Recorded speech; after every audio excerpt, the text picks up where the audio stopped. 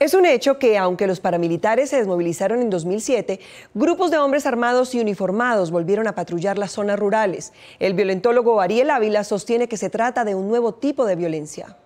La senadora Aida Abella y el gobernador de Bolívar, Dumek Turbay, discutieron en redes sociales sobre la presencia de grupos paramilitares en Montes de María. Para el mandatario local, en esa zona no existen esas estructuras, esto después de un supuesto enfrentamiento entre la fuerza pública y grupos ilegales.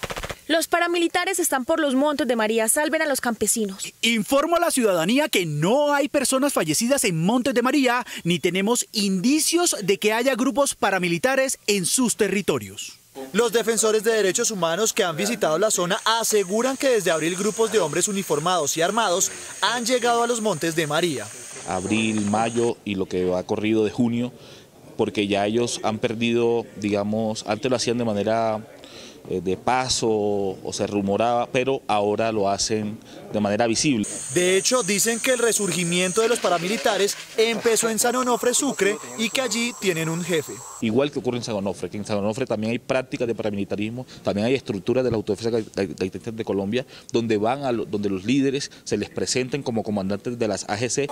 Y niegan que se trate de grupos delincuenciales. La delincuencia común no está en el territorio con fusiles, la delincuencia común no se mueve en grupos de 15, y, y la delincuencia común no acampa eh, y no tiene ese tipo de métodos. El subdirector de la Fundación Paz y Reconciliación, Ariel Ávila, manifestó que aunque no hay una política nacional para la creación de grupos paramilitares como sucedió en el pasado, sí la hay a nivel local. El tema del paramilitarismo es que es una política de Estado de tener estructuras ilegales, lo cual ocurrió en Colombia a nivel nacional. Aquí es lo mismo, pero es a nivel local, no nacional. Esa es la diferencia. Salazar aseguró que podría haber una complicidad de la fuerza pública.